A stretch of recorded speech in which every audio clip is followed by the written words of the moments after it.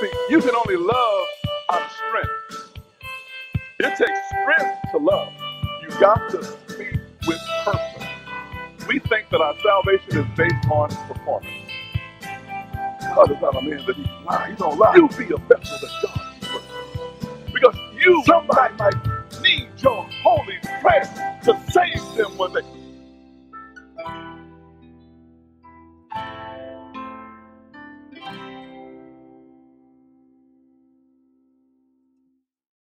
be able to apply what we hear. And Father, that will help us create a memory that will be automatic and it will be a being of excellence that you called us to. Guide us through this teaching, guide us through this revelation so that we all will arrive there together. Amen. Amen. You know, I have two things in my mind that I want to talk about. One, I want to continue with this projection because projection is very important. But the problem with going from Saturday to Saturday is there's seven days in between. And the seven days in between, the Spirit of God is still teaching me, teaching me some things, and I just want to share those things that we're teaching. I, I do want to, I do want to, uh, because of conversation. Uh, my wife and I had a very good conversation uh, a couple of days ago, and uh, we were talking about how people think. And I'm not, I'm talking about the traditional person. I'm not talking about people who come into uh, this kind of gathering and this is the only thing that they know. They don't have the same challenge. What we have is people who have been in church settings before. And by being in those church settings before, they've heard things that they have adopted as their truth. Now, in adopting these things as their truth, they may not have always gotten the result that they desired when they were operating in faith, quote unfaith. So I want to operate in faith. I want to. I'm believing God for this. I'm going to make these types of confession because I believe if I make these kinds of confession, I will get my desired result. Okay. So my challenge as a pastor for the last 27 years, as leading the work, I've, I've seen hit and misses. I've seen people who actually recovered from prayer and from statements of faith. I've seen people not recover at all. And I know that God is not a wishy-washy God. He's not uh, uh, partial. He's not picking and choosing. Oh, you're going to make it and you're not going to make it. And I'm teaching you through pain and I'm teaching you through joy. That's not the way that God is. Now, this journey started some, some time ago for me because I started asking God, why is there such contradictions in the Bible? That's my private conversation with God. Like, like the word, this is the word of God. This is the only thing that I know to be God's word. So, in knowing that this is God's word, why do I see God portrayed in two different lights? I see him as a punitive God, and I see him as a merciful God. Then I, I grow I grow up and I see that God is the Word incarnate in the flesh, and the incarnation is, a, is, is Jesus Christ. All right? The incarnation of God is Jesus Christ. So now that means this is God fleshed out. So if I want to know what God is, I don't have to, to, to have some imaginary being. Here's a being fleshed out. This is God. This is the mind of God. And so when we start looking at Jesus, I see the consistency. I hear him saying, Me and my Father are one. I don't say anything unless I, I hear my Father say it. I don't do anything unless I see my Father do it. Now I'm seeing a consistency. And, I, and, I'm, and I'm growing up in this over the years, and I'm pastoring at the same time. So this is the dilemma of growing up and pastoring, because when you make changes, sometimes you change and you, like you're going this way, you obviously you change to go that way. Well, the people following you are still going that way, and they don't like to make the change because what we do is become very comfortable, and comfort is not growth. There's no comfort in growth. And if you're going to grow, you're going to have, and, and change is definitely not comfortable, but there is some enlightenment to it. Okay, it may not be familiar, but there is some enlightenment to it. And one of the things that God wants all of us to do is be enlightened. Yay. Thank God for the light. Amen. So keep on searching, keep on searching, keep on reading some things and, and, and observing. teaching young men. That's another good thing that I had to do. I, I got to teach young guys, particularly, and women are so women are such a blessing. Uh, women are just supportive and deep, and they get it really quick. You know, uh, guys, we're more analytical. You, you got to deal with our brain. We got to understand it, and so we come with a lot of questions. I mean, we don't just don't accept truth. You know, like women said, "This is my man of God, and I trust him, and that's it." Guys said, "This is my man of God, and I'm gonna check him out everything by everything he do. I'm gonna watch how he dress. I'm gonna watch his mannerisms. I'm, I'm gonna check the dude out to see if I want to continue to follow him." And so we, we come in a different we come in a, at, at leadership at, at, a different view. And so training men and teaching men, uh, there were some additional questions that I didn't get that caused me to go get an answer because I don't like questions that I don't have an answer for. So like I go back and I get some questions answered. And I'm a how-to guy. I'm not just the guy to give you information.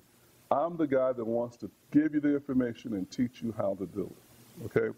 Which brings me to my notes today that's a little off of what we were talking about. Now, uh, so the how to is how do we change our state of being? Because one of the problems that we have is our being. People say that we are human beings. Well, we're not just human beings, we're divine beings in a physical body. So and that's that's our eternal habitat. That's who we are. It, it never changes. But because we're in this these five senses, which are extremely limited, we have to do things by faith. I want to say it again. We have to do things by faith. It's not by these senses, because the senses cannot contact our spiritual being. All our senses do is tell us about our physical being. Okay? Our worldly consciousness uh, through the five senses. Then we shape personality and character and tendencies and habits and so forth and so on in this. But none of those things that we shape in this follow us outside of this. Because none of those things outside of this is necessary. Amen. Now, another key is Jesus is not accepting the world as it is. He's not upset with the earth. It's, it's the world that's on the planet that's governing men through the senses that is that's being replaced. Okay? So so how do we live in our future selves today? Uh, that's that's what I'm after. So here you're going to see state of being. I don't know if you can see it up here, but I'll read it for those who can't see it. The the neurochemical relationship between the brain and the body. Now I'm not going to get it because there's a lot of stuff to go before this. That I don't want to make this a science class. Okay, so but there's a whole bunch of stuff happening with us. One of the things that I discussed last week at, at in the LA church, I discussed the fact that uh, we all made up of atoms. Everything is made up of, of an atom. Chair you're sitting on, the light, everything is made up of an atom. So when we dis, when we go in, dive into what makes up an atom, we have all these other names, neutrons, protons, and all that kind of stuff. But when we really get into the atom itself, to the core of the atom, we notice that that 99.9999% of an atom is gas. Okay? Then 0.0001% is particle or something solid. So the atom is basically made up of nothing in percentage. It's basically nothing. It's 9.9999% of nothing. And we are made up of nothing. Okay? The part, and it's, the, it's this 1% that we seem to be concentrating on. And I believe that what God is communicating to us in this study is the fact that you're more spiritual than you are carnal, but you pay too much attention to this than you do of your true makeup.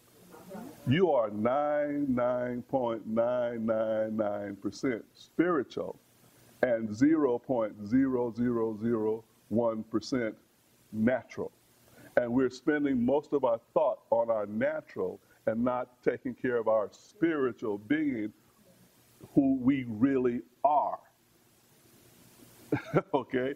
So now, by that, that means you can influence your natural being if you learn how to operate and function in your spiritual being. Okay? All right? So that's why we use some of this terminology so that we can learn. And the, I'm saying, all of what I'm saying is in the Word. And it's not hidden, but the, we, because we have not been taught to think properly, we don't see it. And so when we look at the Word, we come away frustrated instead of inspired. Inspired, okay? I, I tried to make that rhyme, but it didn't work. All right, here we go.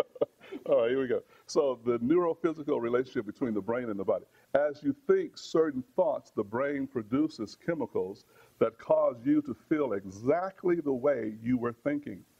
Once you feel the way you think, you begin to think the way you feel. This continuous cycle creates a feedback loop called a state of being. For example, we say, I have always been lazy. I am, I, I am an anxious person. I am typically uncertain of myself. Now, for those of us who have been seated under my teaching, we recognize immediately the I am, because that's God's name for you, and that's one of the most powerful names you have. Whenever you say I am, that's what you become. So you don't you better watch the I ams. It's holy and it's sacred. So don't be talking about I am sick and I am broken because well, hey, praise they ain't gonna change just because you want to. I don't feel like being broke, but I'm broke. You're counseling out your blessing. Okay. All right. So I am typically uncertain of myself. I have I have uh, worthless issues. I am short tempered and impatient. I am really not that smart. And so on and so on and so on. And those particular memorized feelings contribute to all our personality traits. Because when you say this, it releases a chemical and you begin to feel what you say. If I am lazy, you're going to feel lazy. If, if I am smart, you're going to feel smart if I am, t- and your body is going to help you maintain this loop of being. You will try to be energetic. You're trying to read or you're trying to study, but you have already have a base belief about yourself memorized that you're lazy. Oh, that's not interesting to me. I am not in. So whatever you have already hypnotized yourself in doing, you release chemicals, and your body is is on the on those chemicals addiction. It is addicted. Like we know about adrenaline, uh, addiction, but any kind of addiction, lazy addiction, depressed addiction, uh, you're you're an addict to being depressed because of what you think. Hey. Warning. When feelings become the means of thinking, or if we cannot think greater than how we feel, we can never change. To change is to think greater than how we feel. To change is to act greater than the familiar feelings of the memorized self. As a, as a practical uh, example, let's say you're driving to work this morning and you begin to think about the heated encounter you had a few days ago with a coworker. As you think the thoughts associated with that person and that particular experience, your brain starts releasing chemicals that circulate through your body quickly. You begin to feel exactly the way you were thinking. So by the time you get there, you already got an attitude. now you left this morning, you got up in the morning, you were feeling good, you're driving to work, and then you started thinking, oh, on Friday, me and so and so, we got into it. And they were da da da da da da da da da da da da. You playing that thing back in your mind over and over again, and by the time you get there, you are ready. Uh, you are ready. You revved up. How did you get that way? Your memory. Now here's a problem that, that, that I'm trying to help people, including myself, is break the past. Break the past. Anything that is five minutes ago is not worth my imagination. Now, there's an illustration scientist that's done these illustrations, and one is either a gazelle or any animal that's grazing that has a predator. As that animal is grazing, they are per- perfectly rested. They are rested. And nothing is going on. The heart rate is, is not up. But let's say this is a gazelle and, and, and this rested, and through the, the comes a female lioness. And, and, and this gazelle got some hearing because that's her protection. She can hear well. Head goes up, danger, danger. And then she hear that line, boom, she's gone. And that lioness is after her. And just this particular occasion, she has a couple of moves. She got laid out and she gets away from the lioness. All right, the lioness decided not to chase her, get an easier prey, whatever. She is not worried about that lioness no more. It's gone. The threat is gone. And 15 minutes after the chase, her heart rate is back to normal. Her heart rate is back to normal. Humans don't have that. We have fight or flight. And the same thing like the gazelle, our heart rate goes, it releases chemicals. The same thing can happen in a memory. You can remember an encounter. Re- you're not in it, but you remember it, and your body don't know that it's a memory and not reality. And the stress is what your body cannot take. Your body is not made to take stress on a continual basis. And we are always stressed about something.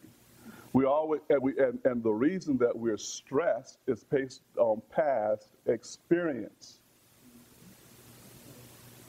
See, you already decided, well, I've been here before. I, you know, the, the same symptoms happened before. So I can pretty much predict what's going to happen. And so now you begin to worry. You do the same thing with bills. You do the same thing with time. You do the same thing with everything. You stress, stress, stress, stress, stress. And so one of the things we need to do is divorce ourselves from stress and anything that will push the button of stress. Now, this should weaken your addiction to news. Because the news is not you. Unless you're making the news, you really don't need to know the news. Because as you're visualizing the earthquakes, as you're visualizing the murders, as you're visualizing the families that have been affected by tsunamis, your body don't know you're not in that. But your feelings release chemicals of stress and worry and concern, and these chemicals deteriorate your physical makeup. Are, are, y'all listening to me? And see, now this bounds up in pressure on the inside. It has to come out some way. So it comes out as high blood pressure. It comes out as cancer. It, come, it, it comes out of different kind of things because you don't know how not to stress. So it ain't the devil. Oh, I rebuke the, the devil. It ain't the devil. It's us. Amen. Because the word says, you know, you want to talk about the devil. The, the word says resist, and you will what? Flee. He ain't even got to fight. Renew your mind. Anything that rises up in your mind that's contrary to the will of Christ, capture that thing, cast it down, and replace it with another thought. Amen. All right. So y'all learning something so far? Yeah. The next thing I want to point out in this conversation is we have made positive confessions before. You know, we we we we done been through this positive confession kind of thing. You know, I've been I've been around a long time. You know, 64 years old. I've been in church ever since I was, I don't know, forever. And and I can't remember a day of my life not being in church. Same thing with that man back there. We was we church, we on we was, we was in diapers, sitting in church scared to use the diaper because we make our mad, mama mad because she had to go change it. So we just kept everything in control.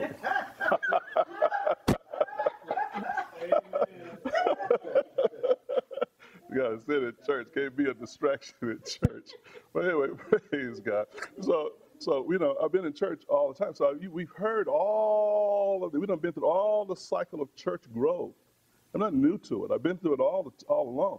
And I started teaching the Bible when I was been a teacher actually when I was 12 years old. So I've been doing this a long time. So so and I'm not that don't mean anything. It's just that I've been here asking questions. But that's all I'm saying. I've been here asking questions a long time. And so I, I'm gonna tell you, if you keep asking questions, God will give you an answer. He's not keeping no secrets from you, and no question puts him off. He don't really care what you ask you might not like the answer, but he gonna give you the answer to all your questions. Amen. So I've heard it. We've been through. Let's let's let's let's memorize some scripture and let's confess the scriptures that we memorize. Like I'm healed. I'm healed. I'm healed. I'm. I, I, I pray for people that that says I'm healed. I'm healed. I'm healed. I'm healed and died. That concerns me because God doesn't lie. You know, I prayed for people that says, I'm healed, I'm healed, I'm healed, and have some sickness, disease, or malady, and still live with that. That bothers me. I know so some people don't say that. Some preachers don't say that. Some people put it off on you and say, oh, you just didn't have enough faith. That person had enough faith. You didn't have enough faith. You should have more faith. Blah, blah, blah, blah, blah. Well, let me tell you something. You can't have faith for what has not already been given to you. See, faith don't create nothing. Faith is in response to what is already yours. See, grace is giving you everything, and you have faith that grace has already given it to you. That's why you have faith for it. A lot of people, oh, I have faith for a new car. Well, if grace hasn't given you a new car, you're not going to drive off with the one you want. Amen. You know, people out there putting out there, well, I didn't get what I want. But now you settled. Because most people don't know this. The desire for whatever you want, I don't care if it's a Rolls Royce, sweetheart. And I don't give a care about where you are financially. If that's your desire, that's what you will have. It don't set God back one minute. There ain't no such thing as thinking too high. How can you think higher than God's promise? Amen. That's that's the most ridiculous crap. Excuse me, most ridiculous thing that ever come out of church. You thinking high. You have you don't have the capacity. You don't have the mentality to think higher than God's promises for you. Amen. Amen. Not one of your thoughts ever threatened Him. Try it. Try it. Try desiring something. That's why she would desire one thing and she would desire something else. Because God gives both of these women the desire of their heart. And each of them will have their desire, though it's different. And some of us, through religion, talk ourselves out of our desires. Oh, you just think, you know, family is really the worst thing for this. Oh, hmm, you think you such a much. You worse off than a crippled crab without a crutch.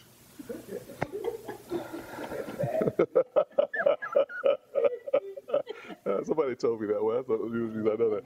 You know, you told me you think you such a much. I am. I am. I am exactly what God created me to be. I'm no less than what God has created me to be.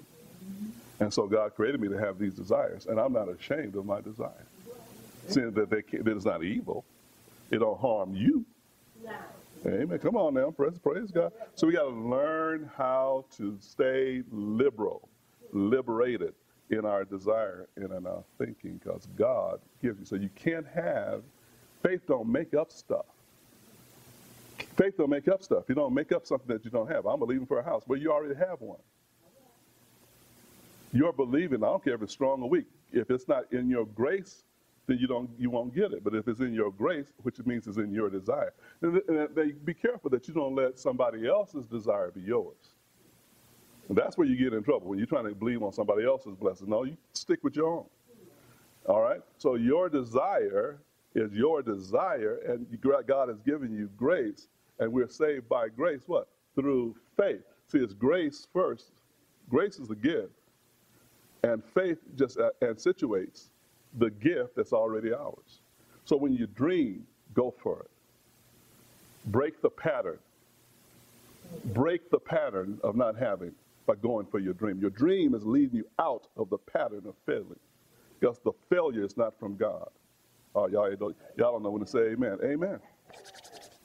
So now, my, my thing is, how do we break the pattern of, of this rut that we're in, like a hamster that keep running around and keep having the same experiences over and over again. Amen. So let's go. Brethren, I do not count myself to have apprehended, but one thing I do. forgetting those things which are behind and reaching forward to those things which are ahead. Now, verse 14 says, I press forward. Now, now, um, we have preached, I'm in the, at least I know I've done this. I've preached, I'm in the press. I'm in the press as though there's some type of pressure stopping me from going forward. All right? We're not in a press because the only pressure we have is us. It's called discipline.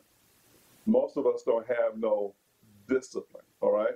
So, it says, Brethren, I do not count myself to have apprehended. But one thing I do, forgetting those things which are behind and reaching forward to those things which are ahead, I, I, I'm disciplined to move toward the goal. See, now there has to be a goal, all right, for the prize of the upward call of God in Christ Jesus. God has given you a vision. So you're going to be disciplined to keep that vision before your eyes and do what's necessary. I.e., the reason that we're doing the course in miracles, because in the course in miracles, it asks us, especially the, the student's workbook, to do certain things and think certain ways during the time of day. So think about this, think about that during the time of day. Do it every hour. Now, I'm, a, I'm at where they want me to do five minutes every hour. Now, I don't know where you guys are, but do five minutes every hour. Now, there will always be something in your life that you will not be able to remember those five minutes every hour. See, the course is trying to train you how to discipline your thought. And whenever something replaces that five minutes of concentration, that thing that replaced it, you value as more important. Because you lose sight of why the discipline is in place. Oh, come on now. And then your ego will remind you you didn't do it. Now you're going to feel guilty. Bad feeling. You know, never to be guilty. All you do is just correct it. Don't ever accept guilt. Guilt is not from God. You don't need guilt. You don't need guilt. One more time. You are the child of God. You don't need no guilt. Child of God don't accept guilt. All right? You know who you are, you ain't gonna ever be guilty. All right? Now, so so but it, it but it never quits. It keeps giving you and encouraging you to to discipline your thought life. To discipline your thought life. Amen. So let's go to Philippians chapter 4.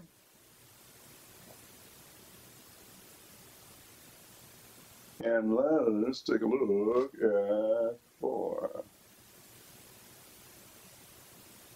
I like, I'm going to read this and then I'm going to make some comments about it. Philippians chapter 4, verse 4 says, Rejoice in the Lord always. Again, I will say, Rejoice.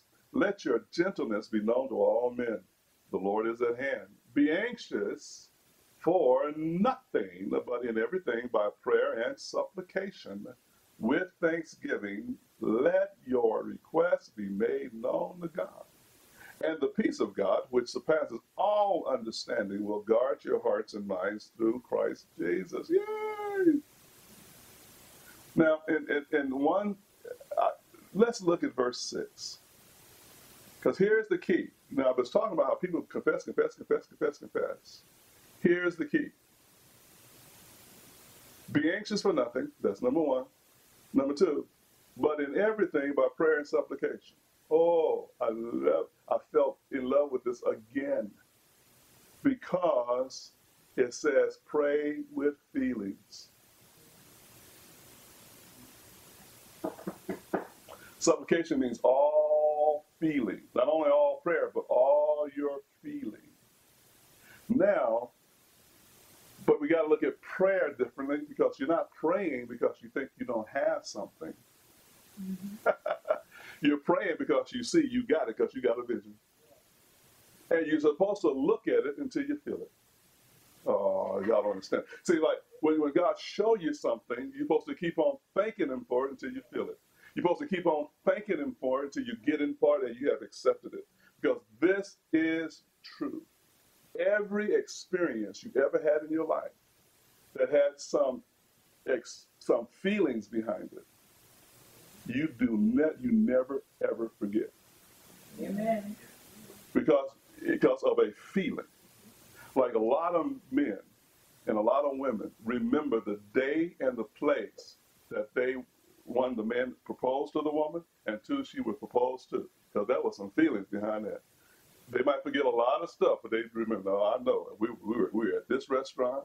The, and, they, and women are even better than men because they know what it smelled like that day. they know the colors, they know the bird tweet, they know everything. The guy know the place. You know, I remember I kneeled down, that floor was hard. and she was told because there was feeling and emotion behind it. Whenever you have feeling and emotion, it creates an experience. When you create an experience, it, it changes your being because it releases chemicals inside of your body. Ooh. See, see, the way you break the rut, because when everything you think about the past, it has feelings about it. It has fear attached to it. Has, so you keep on going because you keep replaying those ruts over and over again. So what you do is forget about that rut and sort of faithful and no, no, no, this is where I'm going. I'm going. I'm le- I've left that behind, and I'm going forward. And I'm gonna keep on looking at it. I'm gonna keep on gazing at it until I begin to feel it, until I begin to have an emotion about it. Now, when I call those things that be not as though they were, because I've already accepted it as it as if it were. I'm already acting like it's true. Y'all get it? You know, I already, I'm already feeling like it. I'm already, I've already accepted it, so I'm looking and talking like it's true. I'm not talking like it's coming. I'm talking like I got it. Amen. Amen. Amen. I got it. I, you know, see, if, if it's coming, I ain't got it. But if I got it, I've, I received it. You know, if you pray and receive what you pray for, you have it. So you got to already lay hold to it. I got this. You have to see it before you ever get it. If you keep looking at the past, that's all you're going to get. That's all you're going to get. Not going to get nothing different. Amen? Amen. Come back. Come back. Thank you. So now, uh, that's what we want to talk about. And that's what we want to encourage you with today. We need to change by changing what we're thinking about. Now, again, if you haven't started the course, I, I tell you start the course because it'll, it'll, it'll purify your mind. You know, you start saying, I am the light, I am strength, I am the child of God. When you start saying that about your I ams, it true, it just it, it changes what you think about yourself and it actually gives you the permission to dream. You think your way out of your circumstances. I know we want somebody to come rescue us, but we didn't get in it that way. But we get out of it a lot faster. We'll get out of our circumstance a lot faster because wisdom is ours, and wisdom will constantly bathe us in these things. All right? I know I'll, I'll, I'll deal with guilt later on, but I, I, sense that I've given you enough uh, now. So take with you for the day into the, our next meeting. People of Greater Los Angeles, Apostle Will Wheat has a word from God that is revealing, powerful, and life changing. Every Sunday, lives are being transformed by this powerful word from God. Families, businesses, church leaders, and the world are hearing God's plans for their lives and none of those plans include defeat. It has been said that there have been Jesus sightings in his services, so you owe it to yourself to be a part of one of the greatest movements and Jesus sightings that this city has ever experienced. And you can download Apostle Wheat Sunday messages for free at nccfc.net. Sunday services are at 1 p.m. and midweek services are Wednesdays at 7 p.m. There is faith for your destiny at nccfc. nccfc.net.